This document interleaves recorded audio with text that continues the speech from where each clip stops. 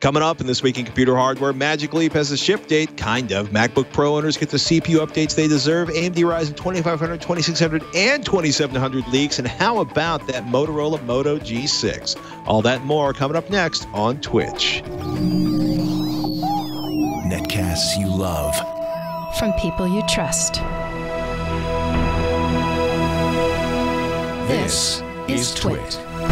Bandwidth for Twitch is provided by CacheFly at C-A-C-H-E-F-L-Y.com.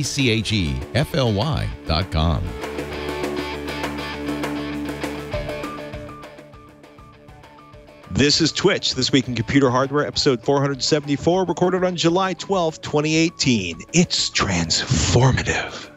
This episode of This Week in Computer Hardware is brought to you by the Ring Video Doorbell. Stop crime before it happens and help make your neighborhood safer with Ring. Go to ring.com slash twitch and get up to $150 off a Ring of Security kit. Welcome to Twitch, This Week in Computer Hardware, Twitch weekly show that aims to bring you the most elegant, the most delightful, the most surreal, and the most peculiar hardware news available in the known or unknown universe. Today, a story from small town Florence, Kentucky, where, ladies and gentlemen, Mr. Ryan Shrout is to be found contemplating the future of autonomous vehicles. I'm kidding, man. Hey, Ryan, I'm Patrick Norton. uh, I have no story for anybody. Um, I was trying. I was, I was trying to brainstorm very quickly about a story I could tell you in about 12 seconds, but instead, you got 12 seconds of me telling you that I had no such Nothing. no such story for the lead-in. Yeah. Were you surprised that that Ford's going? You know, all eh, Ford. Well, one Ford's walking away from uh, cars, um, Right. And uh, they're actually going. They're working going uh, uh, electric. That kind of blew my mind. Um, uh, the I- I- idea that they're I going to think be it's a- doing it's sort a- of electric trucks. It's it's a pretty drastic move to to get rid of say I mean in a fairly short time frame we're going to stop selling cars with the exception of you know the Mustang and one other Right. car right but keep our SUVs and keep our trucks that's what's selling that's that's uh, uh, a, a drastic swing um, Well, they're going to keep the Mustangs. right. right. And I think there was one, there was like um one of the smaller cars as well. Maybe that was just in Europe they were going to keep or something like that. But Yeah. Well, in the, The- the U.S., move it's to trucks, electric- SUVs, and Mustangs. That's the U.S. So okay. Okay. the move to Yeah. electric, though, you're saying. The, the move to electric is also pretty quick sounding based on their timeline. Um, but it, you know, stuff like the the the electric Ford F-150 or what have you, that's got to be a supplemental power system. Um, they're not going to be able to get rid of the the gas engines for that. Torque is great to get you moving, but if you want to continue moving, um, you know, if you're towing a trailer full of stuff or Right. a, a camper or what have you, you know, be nice to be able to On one continue hand, to do I, that. On one hand, I hear you, but as somebody who who drives a diesel truck with 400 foot pounds of torque and uh, 160 horsepower, um, there is something to be said for appropriate gearing and having six or eight speed transmissions. But um, I just thought it was crazy. But you don't right have there. range issues. I don't have range issues, but that's what's. I mean, I'm I am curious to see what they can do because w- you can stuff a lot of batteries. You know, you you take an 1100 pound, you know, diesel engine out of the front of the truck. You can put in, you know, a two three hundred pound electric motor and and several hundred pounds of batteries. I'm really, I, for me, I'm curious is is to see what they can do in terms of. Uh, you know, next generation lithium ion batteries. If maybe they purchased a patent, they think that's going to give them an advantage. I'm I'm really curious because yeah, I mean, I can I can pretty if I do things right, maybe not with a trailer, I can get an 800 mile range out of my truck. Um, Right. you know, in terms of uh, let me double check the math, but you know, leaving a comfortable leaving a comfortable couple of gallons in the tank so I don't run out of gas, I should be good for like 450 miles towing a trailer on my truck and still have like 30 Yeah. miles in reserve. But uh, I just thought it was crazy to think of Ford like a like not doing cars uh, except for the Mustang, and B um, they're talking about 40 electrified vehicles.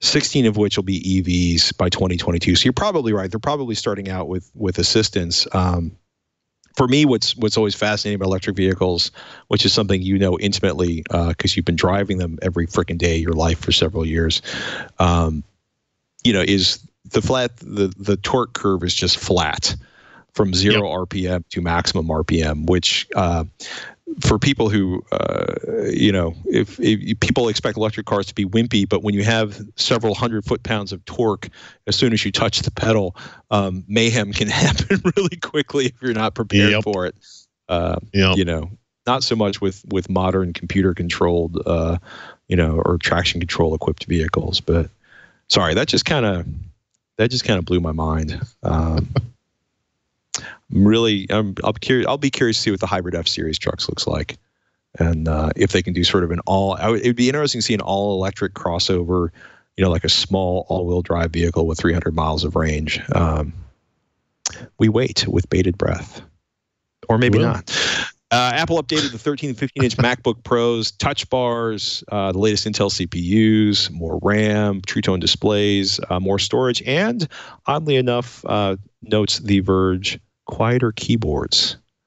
Um, I I was kind of curious plus. about that. Yeah, uh, and uh, I like uh, uh Mr. Dieter Bohn's uh, subhead on that article. Slightly more than just spec bumps. it was kind of interesting that they they released it this way. There was just basically a uh, like a press release announcement on their site. Right. I'm sure they sent it out to the media and whatnot, but no no events, nothing like that. Um, updated some devices but not others, like the the the MacBook with the with the uh, uh, touch display or the um mm-hmm. the, what's that? I just blanked on the strip. En- well, the entry level 13 inch MacBook Pro um, is not getting uh, an update. Um, right, but the, and that's the, only one that oh, has physical function keys. Worth noting. quote, which the community is taken to calling the MacBook Escape because it has a real escape key. Um, I like that. That's good. To give you an idea of how far behind the processors were on the MacBook Pros, uh, you know, Apple was saying that uh, you're looking at a 70% bump in performance on the 15 inch model, and you should uh, get a 100%, a doubling of speed on the 13 inch model. Mm, Think about okay. that for a second. Um, I'm laughing yeah. uncomfortably because, uh, you know, these are not inexpensive machines. Right. Um, and if you bought one last month, how pissed off are you going to be? Um, you know, this is these are these are huge bumps in specs, and you know, one of my running jokes uh, when I was doing a lot of $500 PC builds, I still love building $500 PCs, but my running jokes, if you build a $500 PC and you can keep using it with sort of incremental upgrades to the GPU or adding some more memory or, or uh, you know, one of the big ones was when SSDs became affordable. Um, you know, by the time you, you start with a $500 PC, which has sort of an entry level processor, you know, in three or four years, when you go to, you know, build a new machine, you're getting what feels like an absolutely mind blowing increase in performance. But, you know, these are like, you know, the entry level in these notebooks is 1500, 1800 bucks. And they were way behind on CPUs. So if you've been waiting out to buy a new MacBook Pro, uh, you're a happy camper right now. Um, 32 gigs of uh, DDR4 memory on the 15 inch MacBook, uh, which is pretty awesome. If you have the money, you can get like a four terabyte SSD inside of that. Um, mm. The uh, up to two terabytes of storage inside of the 13 inch model. Um, this is pretty cool, I think. They uh, so the the Core i9, so you get six core processors in that. I agree, that's pretty great. Um, you also up to four terabytes of storage is fantastic to be able to get that in the mobile device, but uh, right. it's not inexpensive. No, because uh, I think they're charging a thousand dollars per terabyte on that upgrade path, right? So they're they're charging you a dollar a gig for NVMe storage, um, which is a you know more than double what you should be paying.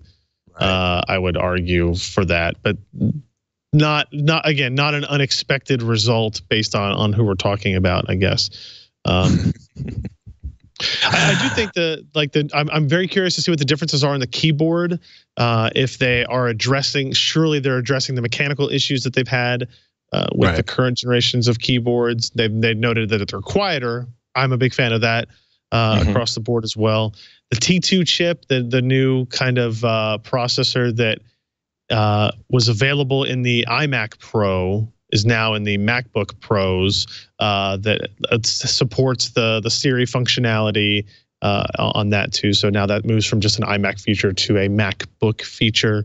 Right. So if you happen to care about using that on your laptop, now you have that capability. I I've never seen anybody do it yet, but I'm sure there are some of us out there Sure, like talking are. to their computers. Oh my goodness. Yeah, I mean to put it in context, when you're looking at a an NVMe, like a two terabyte uh, NVMe drive, you're looking in the in the M.2 format, and I don't know what the uh, the format of the drive inside of the new MacBooks is.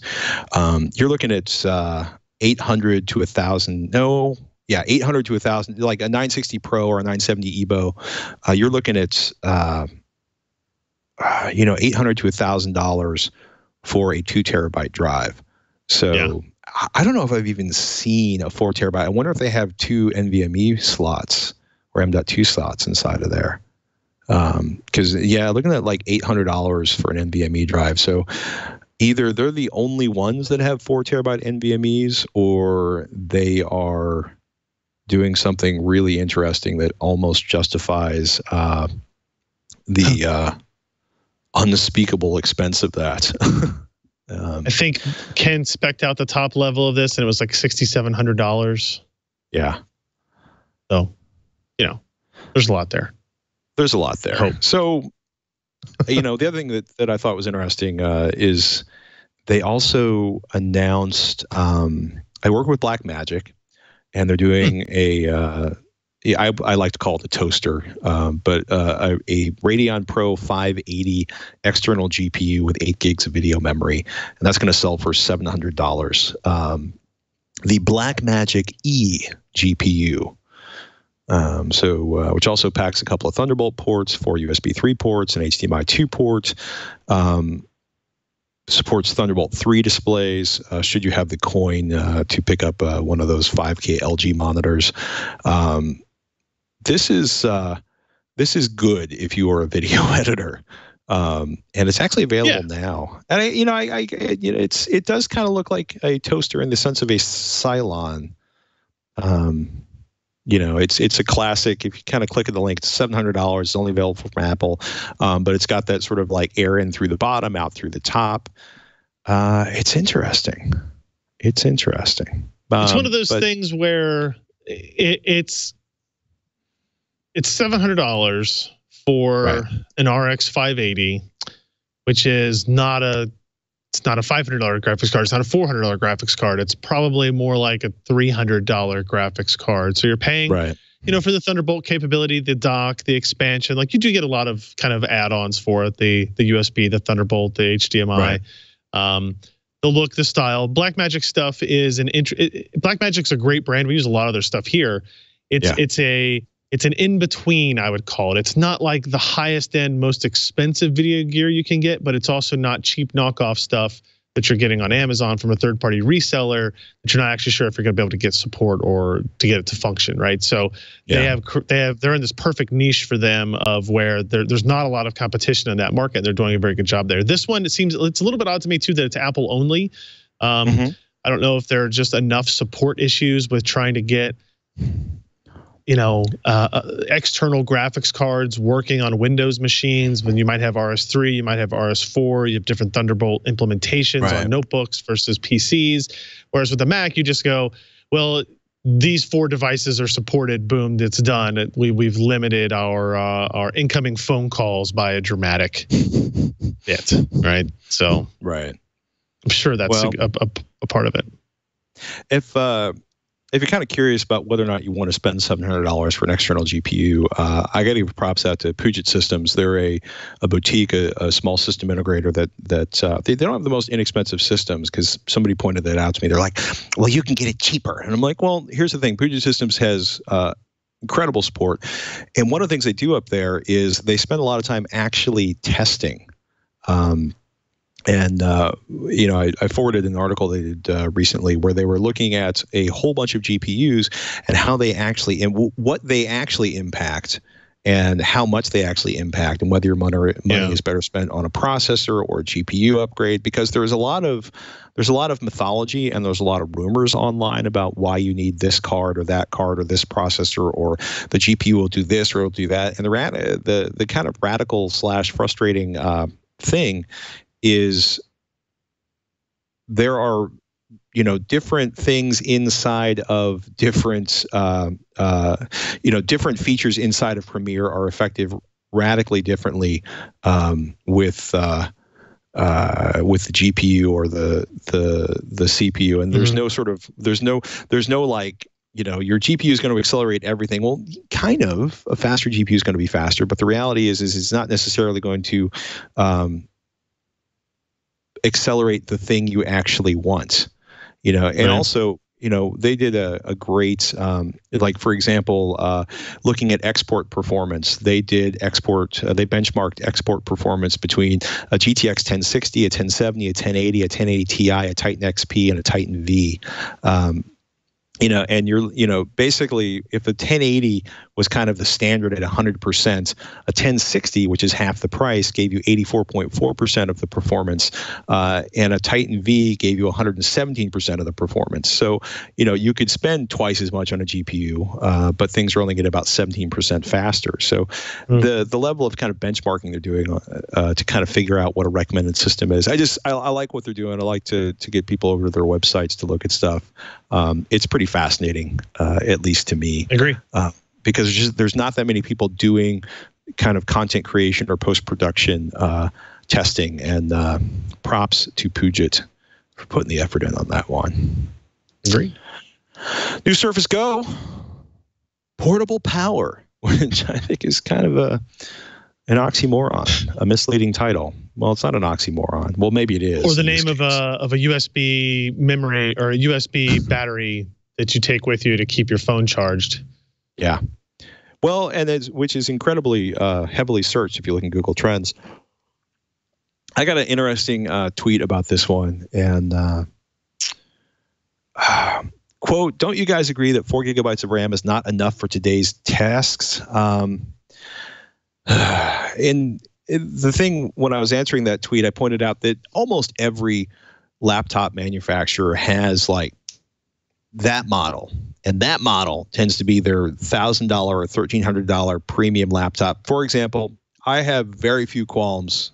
Uh, one of which, probably the primary one, being the location of the webcam on Dell's XPS 13. Um, Mm. but uh, you know the sort of nostril cam at the side.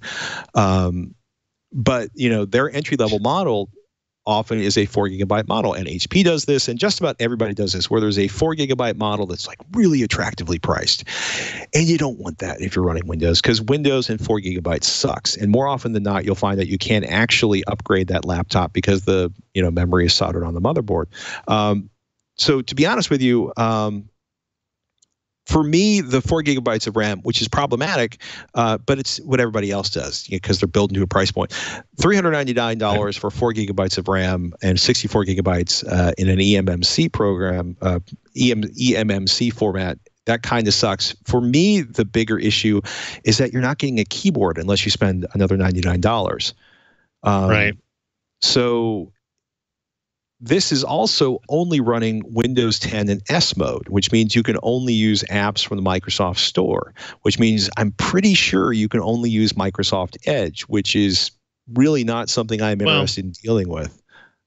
I mean, that's how it comes out of the box, but you can you can absolutely upgrade this out of S mode to Windows 10 Home full uh, for free still. Okay. Um, so you still have you still have the capability to do that, and it's one of those, you know, th- they're trying to very gently push people towards S mode because of its security and Sure. and kind of cross-platform compatibility that they're trying to ramp up. But that's just not really that's not really what people wanted. Right. Uh, and I what I still don't still think they will want uh, with that Right. going forward. Um, I mean, if you want a tablet, gigs buy of- an iPad. well, th- that's what that's what I was going to say. This this this is really this is going against the iPad.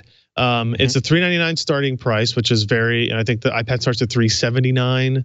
Um, they're they're you know this doesn't come with a keyboard as you mentioned. Um, they're, they're, it's price competitive with the iPads as you go up the stack Um, but the difference is obviously here you're running Windows, you're running a different app ecosystem. You get a keyboard, you have different kind of productivity expectations Right. at this point. And I actually see there are you know you could you could use the mindset of the the portable professional or the person who's doing a, a tablet consumption. I think if you're doing consumption only probably an ipad still makes the most sense. But if you're um, if you're in education and I, i'm kind of of the mindset that ipads make the most sense for um, let's say up through elementary school, maybe Mhm. beginning of middle school. But as soon as you get into things where you have to start typing, you have to start writing reports, you have to start generating content um, for your school, that a keyboard and Windows tends to make more sense, which is why Chromebooks, you know, in, uh, are more like an operating system that we're used Right. to than than the iPad is. And I think that's really what Microsoft is kind of going after here. They're going to release an LTE model of this later in the year, apparently as well. That that's more interesting to me as a mobile professional that Mhm. might be interested in this type of device. But then they made some hardware choices that don't really make sense. Um, they're using the Intel Pentium Gold processor, which is essentially an Atom design. It's it's just what they what they've rebranded their their successive Atom generations to, and it's Right. fine. Um, and I'm sure I'm not positive of this, but my guess would be internally at Microsoft they sat there and they went, mm, "Is the Qualcomm Snapdragon 835 ready for this?" Uh, or do we want to go back to one of the lower cost, lower performance Intel solutions? And I think at the end, they decided to go with the Intel solution because of app compatibility. Uh, they didn't want to have questions about why some apps worked and some didn't with their inside their own Surface line. Um, but when you do that, you lose the, the huge bet. Like this is only rated at nine hours of battery life. Those um, uh, uh, Qualcomm ones are near 20. Um, so there, there's a significant delta there. And then you, obviously, anything that would have a Qualcomm chip would have LTE connectivity or potential LTE connectivity, and this at its lowest price is is not. So they they clearly made some trade offs from a Mhm. hardware point of view in order to make sure they had the fewest question marks going forward. Even though I think it was sacrificed a little bit on uh, Right. on the capabilities of the of the unit. It's interesting when you when you look at some of the stats for educational sales in the United States. Um, mobile, I don't have numbers for desktops, but when you look at mobile uh, hardware in the United States, like 57, 59% running through the end of Q4 um, is Chrome OS. Um, iOS is like maybe 10 to 15%. Uh, Mac OS is single digits, like sub 5%. And Windows is is in the sort of, you know, it, it vacillates from like 18 to 25%. Um, Windows is actually more popular in the rest of the world than it is in the U.S. in educational systems for mobile devices, uh, possibly because Chromebooks just haven't penetrated as much. But uh, you know, it's it's. I, you know, the, you're just starting to get a lot of the first of the sort of 300 400 dollar ish um, Windows devices, or or that they're starting to come out in volume. Um, I think it's you know it's it's a frustra It's I'm torn because there's a lot of things I like about the Surface books um, and the Surface Pro, or I should say the Surface Pro especially, um, where it's this really nice, you know, as odd as the kind of three by two ish screens were, like that didn't really bother me so much long term. The you Right. know by the by the Surface Three, that magnetic keyboard is actually pretty functional and highly useful. Um, you know, but if you spend more money, you don't necessarily get a lot of performance because they've stuck to their guns with having a passive cooling system, which actually destroyed. You know, a friend of mine had a you know what amounted to a three thousand uh, you know Surface device that he couldn't actually do anything on because the thermals throttled the performance of the processor to the point that it was Mhm. considerably slower than a sub fifteen hundred dollar laptop, and uh, you know so you know, most people are going to buy that $549 version of this. I think for education, you know, I think Google's working incredibly hard to take what they've built and built on it. And a lot of that has to do with the administrative and back end tools and being able to lock down the environment. Um, Right.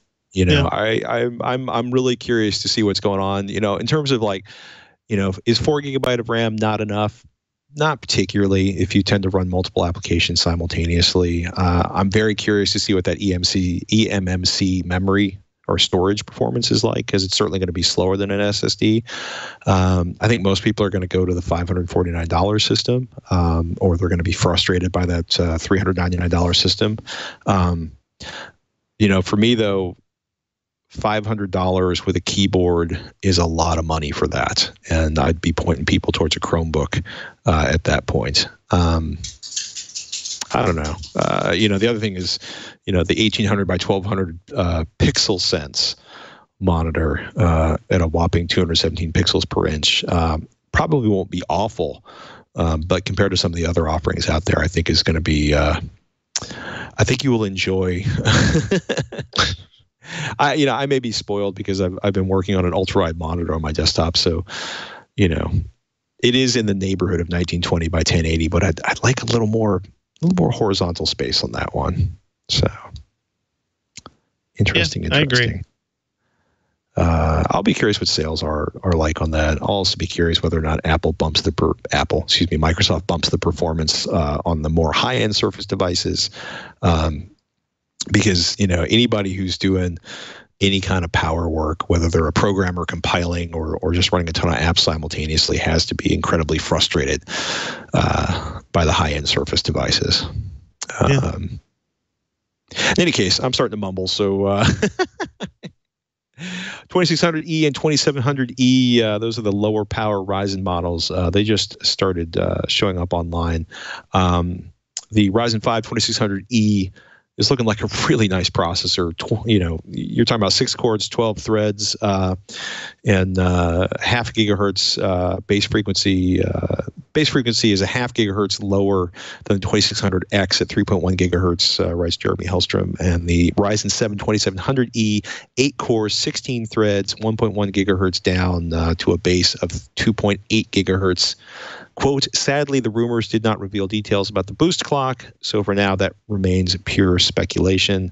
Um, I thought it was it, it, any. You know, do we assume that these details have been leaked by AMD to prepare people for the launch of the part, or, or is Uh, this just, probably not. or at least just to keep people from buying? Probably not. Prob- Um, probably not. Okay.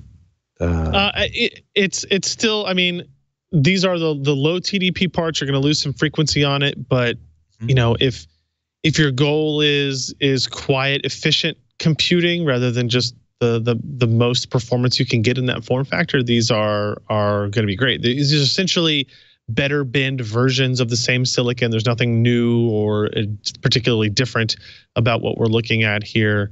Um, so yeah, I don't know exactly when we'll see them. Um, but it, if this much information is coming out, it's it's going to be relatively quick, relatively soon.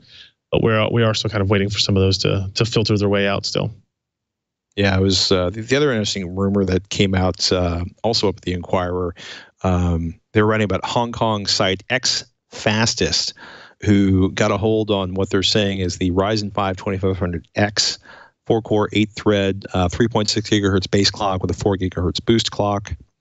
Uh, I'm going to quote uh, uh, Lee Bell uh, over at the Inquirer, who writes the I'm so sorry. XFastest only shared one bit of benchmark data about the Ryzen 5 2500X, and that was that the chip overclocked to 4.3 gigahertz through XFR in Ryzen Master, where it was able to garner a pretty Mm. impressive 1,066 point score in Cinebench R15. So they were running an X470 motherboard, uh, 16 gigs of RAM, and uh, the memory was clocked at 3600 megahertz. So I don't know. I'm just still excited about the Ryzen processors. Yeah, so we're, we're it's interesting because I'm trying to think what the schedule was last year when we saw the 1800X, 1700X, and then we saw the 1600s and the 1500s. Uh, we saw 28s, 27s, and maybe 16s at the same time, and then we saw kind of the mid range come out relatively soon afterwards. It's been a little bit longer delay this time, and I don't know if that's they're waiting for some inventory to clear in the channel of the older generation of this same price segment or not. Um, but yeah, we are still missing some of that. We haven't seen the Ryzen Pro versions of the Mhm. like kind of like the workstation class versions of uh, the, the the Zen Plus architecture either. So we are still kind of waiting a little bit on that. And then obviously Threadripper 2000 series when we get to see our 32 core parts uh, here by the end of the summer. I, I'm pretty sure. There you have it, ladies and gentlemen. We should uh, take a moment to thank our sponsor. This episode of This Week in Computer Hardware brought to you by the Ring Video Doorbell. Ring's mission to make neighborhoods safer. And the Ring Video Doorbell lets you see and speak to intruders on your smartphone from anywhere, even share video clips with neighbors using the Ring app. What's your favorite at this point? You you have a ring at home, a ring video doorbell at home. You have a ring video doorbell at the PC Per World International headquarters. What's your favorite uh, incident involving the ring video doorbell at this point, Mr. Shrout? I'm fortunate enough to say I don't have what I would call incidents. Um, nobody trying to break into a house or an office that way. I think I've told the story before of catching the probably not 21 year olds drinking um, uh, uh, giant malt liquor cans in the parking lot of our office, for example, and scaring the bejesus out of them by talking to them uh, from the ring that way. So that was fun. Except that I had to come in the next morning and clean up the cans that they left behind because they they left in a hurry, as you might have imagined. Uh, but it but it's good. It's good peace of mind to have either way. Oh my goodness! But you know what? You didn't have to go out there and confront them directly, which I think is a It's big true. plus. Yes. Uh, interesting story. Check this video out. Um, I'm gonna I'm gonna read the, the the the the tweet straight here. A serial burglar was taken off the streets after she was spotted casing Clifford's home on Ring. Upon reporting the video to law enforcement, she was immediately identified as an individual with several prior alleged thefts and burglaries. That's up on Twitter.com/slash Ring. Um, they're working people. You may have to clean up the beer cans. You may have to call the cops, but uh, it's nice to know what's going on. Rings floodlight, by the way, bringing light to the situation. Uh, the floodlight and spotlight cam lets you build a ring of security around your entire property. Look at that, people. Just like Ring's video doorbell, floodlight cam, motion activated camera, and a floodlight that connects to your phone. With high visibility floodlights, HD video, and two way audio, it lets you know the moment anyone steps onto your property. And as Ryan has attested, it's useful. You can see and speak to visitors. I think it's gracious, visitors. Even set off an alarm right from your phone. When things go bump in the night, you'll immediately know what it is. Is it teenagers with beer cans? Is it the neighbor's dog? You're going to know. Ring floodlight cams offer the ultimate in home security. Thieves just can't hide with Ring. Monitor every corner of your property with a Ring of Security kit, which includes a Ring video doorbell and your choice of either one, two, or three floodlight cams. And you can connect your Ring video doorbell with your favorite smart locks and hubs for added convenience, monitoring, and security. Stop crime before it happens and make your neighborhood safer with Ring. Save up to $150 on a Ring of Security kit at ring.com slash TWiCH. That's ring.com slash TWiCH. Up to $150 off when you go to ring.com slash T-W-I-C-H. We want to thank Ring for their support of This Week in Computer Hardware. It's exciting. It's exciting when people don't steal your stuff. I think, uh, well, somebody stole something off my porch recently. Apparently, it's time for me to get a ring video. Oh. What's going on? Uh, Jeremy's title on this: Captain Undervolt and the RX Vegas 64S. What's going on with uh, undervoltaging GPUs? So I mean, this Is is, this has kind of been some. It, it is. They're they're well, probably. What do I know? Um, this is a thing that has been popular for a while. Uh, people do it with processors, main, main CPUs, and for GPUs. Although GPUs maybe have a more dramatic effect because the idea of undervolting is that you do exactly what that is. You you run the GPU at a lower voltage and either attempt to maintain the same clocks at the lower voltage or you're willing to lower clock speeds along with it.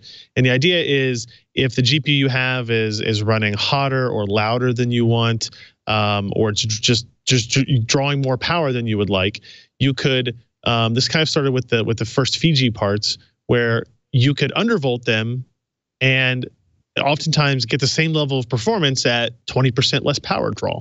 Now it seems Nice. crazy that you would be able to do that and AMD wouldn't have been taking advantage of that to begin with. The problem is is they're building their voltage curves and kind of their their systems around worst case scenarios and kind of where the where the range of binning is.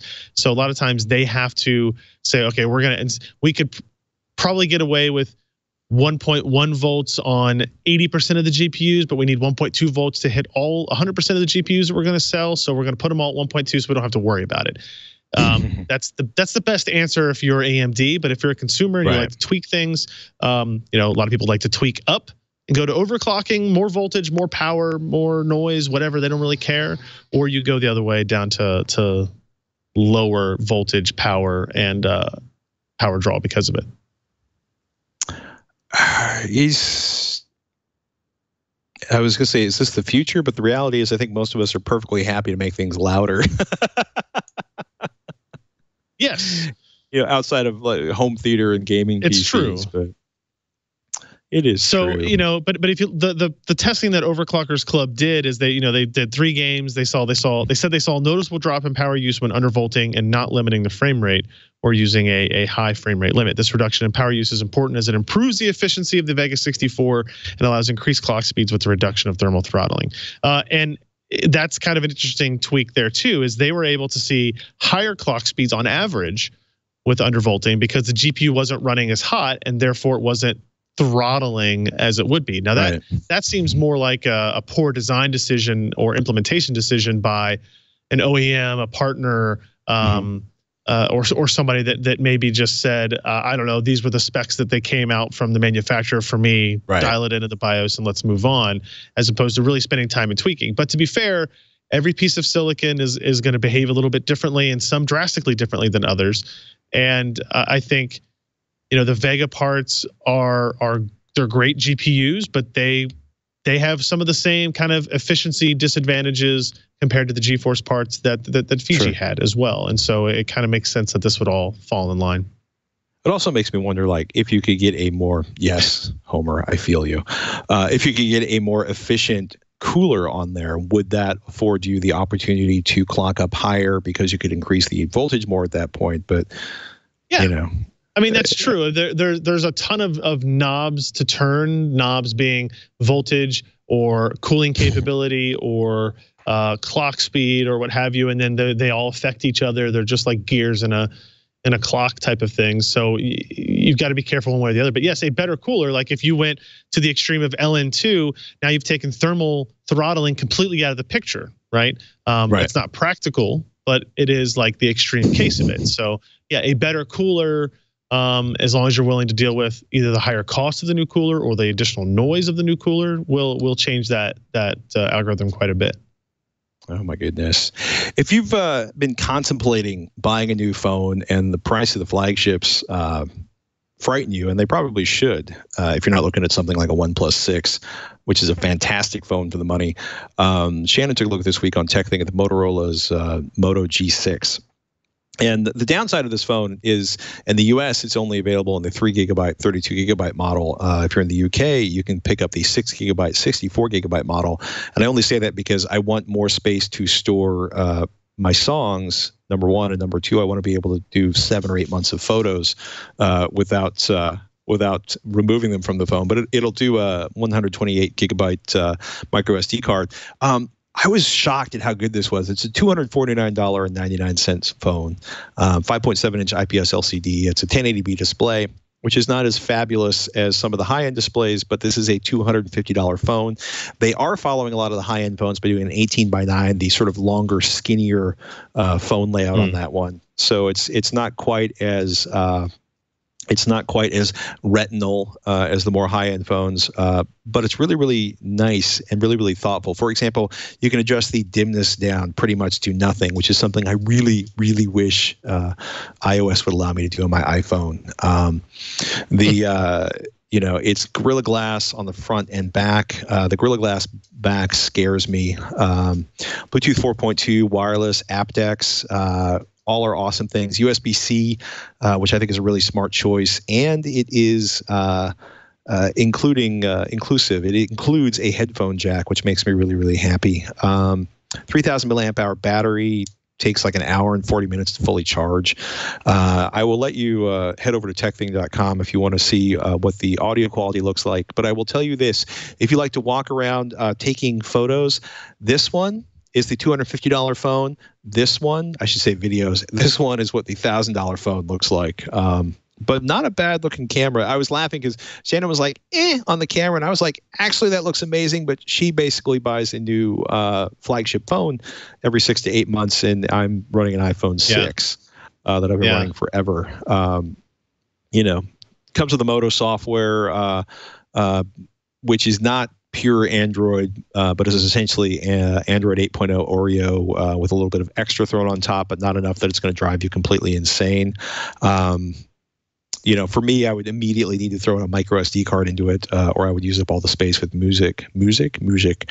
Um, Snapdragon 450, uh, 1.8 gigahertz octa-core processor, um, and again, three gigs of RAM and 32 gigabytes of storage. I hate that they don't have more storage available, but I think they really want you to step up uh, and spend more money on a phone if you want more storage, at least in the United States, or just you know buy a freaking micro SD card. Um, you know, it's amazing. This this was a thousand dollar thousand. This was an eight back uh, back when before flagships were thousand dollars. So this was an eight hundred dollar flagship phone two or three years ago. Uh, it is now uh, outclassed by the thousand dollar phones, but it costs a quarter of the price. Um, yeah, I was pretty impressed. That that actually may be my next phone because the compass has died in my iPhone six, and the fact that I can't use the compass to move my uh, applications around my uh, astronomy applications around has been driving me more and more nuts over the last few weeks. Magic Leap, a company we've been covering for what seems like forever, um, most of which uh, almost entirely on the extraordinary hype their incredible valuation had generated. I still don't understand how they can possibly sell enough of their gadgets uh, to pay back the incredible amount of venture capital they've taken in. But we have a release date, kind of. AT&T and Magic Leap form exclusive U.S. consumer relationship to expand the future of spatial computing. This is like the breathiest PR announcement I've read in forever.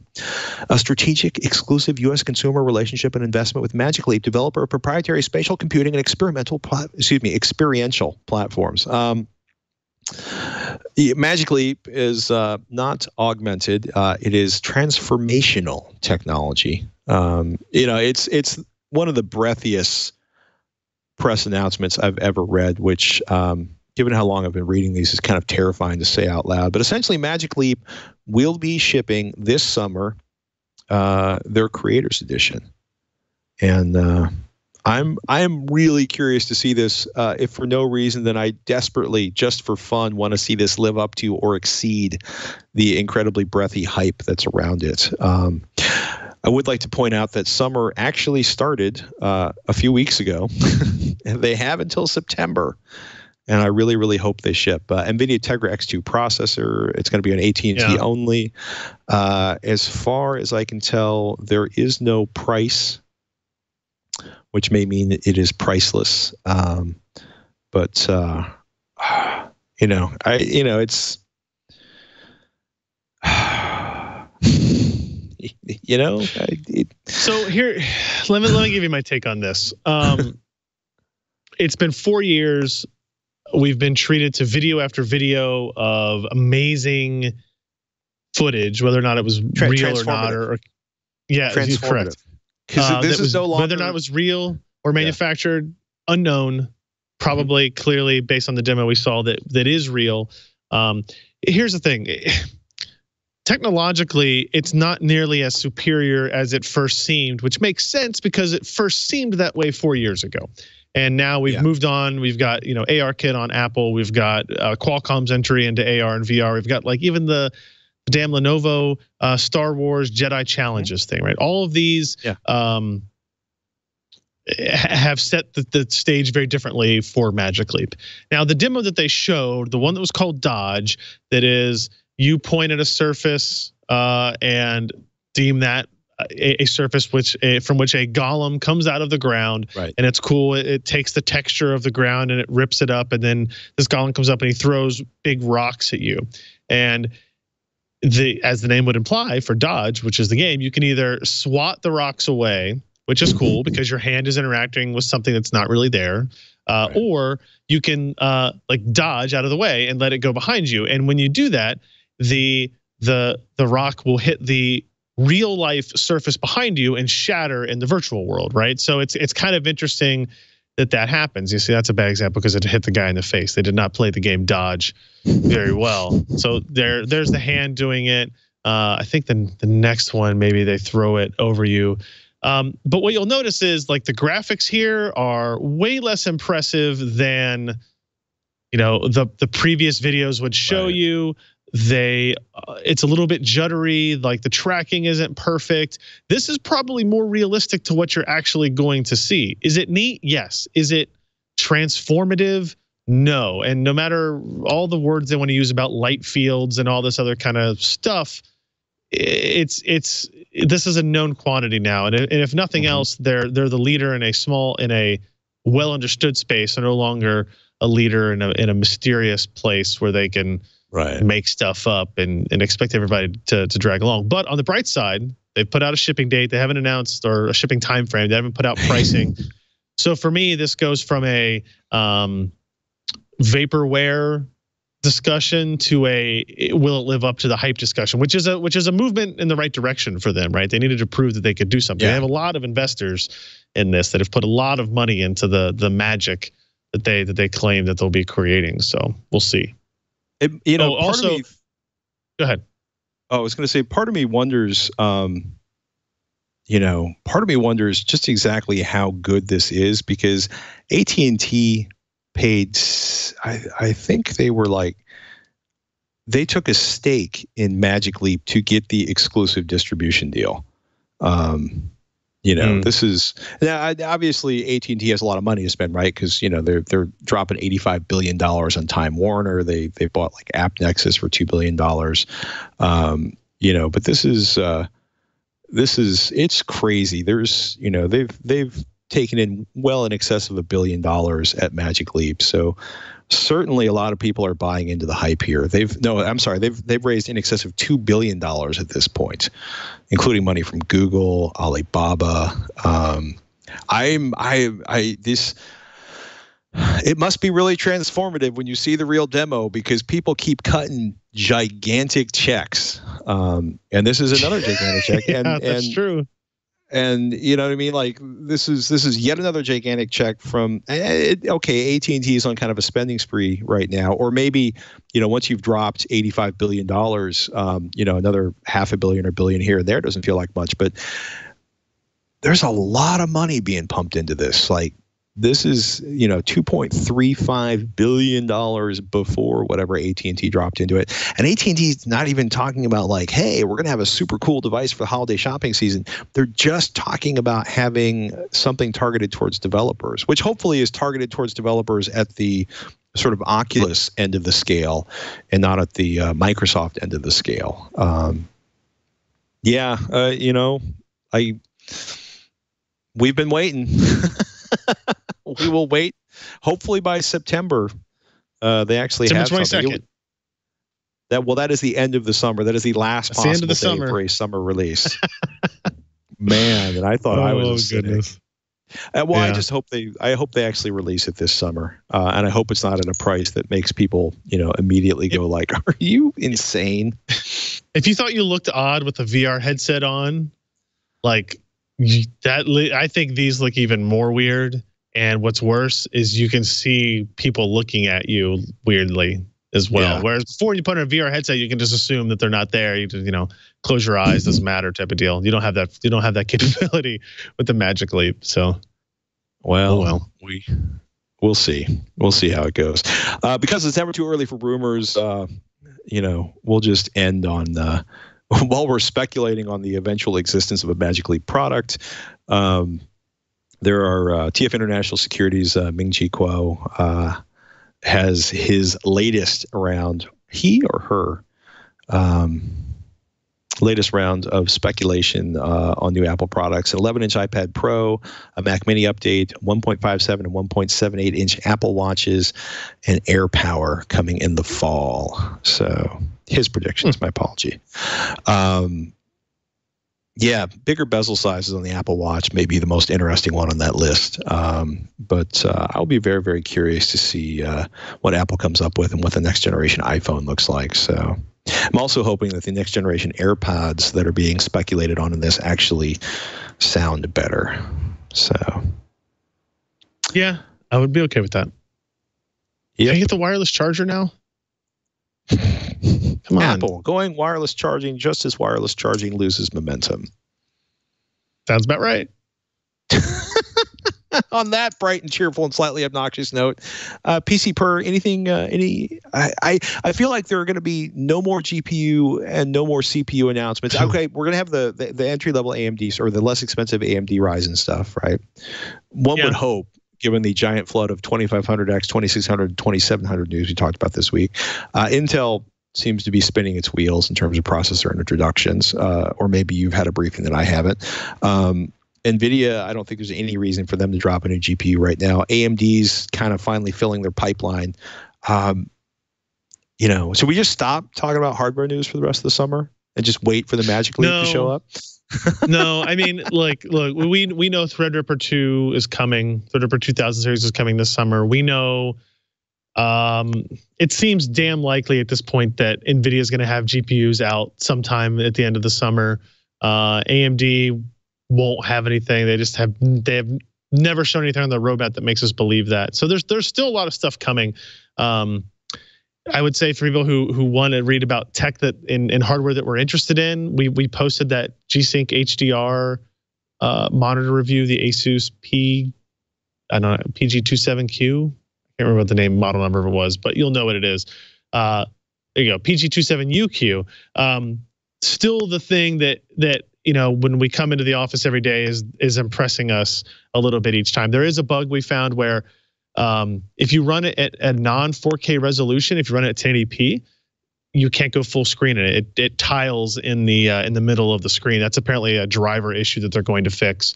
Um, so if you had a if you didn't have a Titan XP or a 1080 Ti and you didn't want to play at 4K, you wanted to play at 1080p with HDR enabled, you couldn't without playing on a very tiny, tiny, tiny window. So they'll they'll get that fixed, and then you'll we'll we'll see how um, if HDR is affected in any way that way. We also took I don't know if Ken posted on the website or not, but we posted a some some teardown another teardown picture of the back of that display that shows the um the the detail of the 384 zone backlight. I think he just posted it on Twitter, so yeah, you won't be able to find it right now.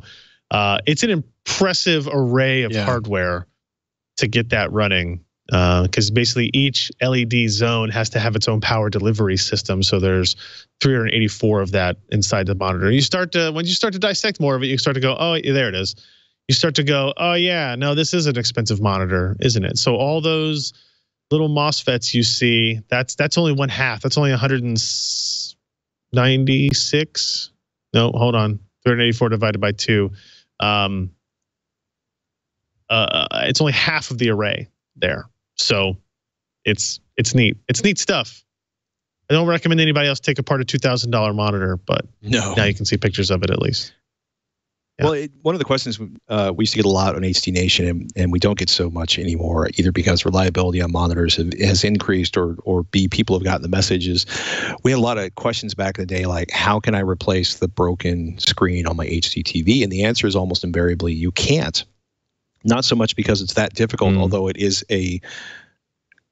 There are worse things. Um, it isn't a wicked ripping pain in the ass, for example, to unglue a glued-on uh, screen on a laptop um, but it is almost impossible to get. You basically have to buy another television to strip out the parts you need to fix the television you have, and uh, it is it is a nightmare. Uh, and as you look at the inside of that monitor, you start to realize like. Imagine having to deal with all those connectors, and if you get just one of them backwards, you're not gonna. You have to pull the entire thing apart again and and and root your way through them. So I don't know. I it's it Yeah. seems like an absolutely fantastic monitor, but for two thousand dollars, it delete expletive better be a fantastic monitor. So Mhm. as money rained from the sky. With that, ladies Agreed. and gentlemen, thank you so much for joining us for this week in computer hardware. We do TWiCH weekly, each and every week. Ryan Shrout and I, we try to bring you well hardware news, mobile, portable, console, laptop, and apparently even the occasional wearable device. I forgot to tell you about the Tap wearable keyboard, which enables one-handed typing. I will do that next week, uh, and we will be here next week. So do us a favor, check it out. You can find uh, well, you're looking at right now. If you got the video, twit.tv slash t-w-i-c-h. You can find more of Ryan Shrout at Ryan Shrout on Twitter at PC Per. You can find more of me at Patrick Norton. That's the best way to contact us, by the way, by our Twitter handles, if you will. And uh, we thank you for listening uh, to uh, this week in computer hardware. With that, ladies and gentlemen, I'm Patrick Norton. I'm Ryan Shrout. We'll see you next week on TWiCH.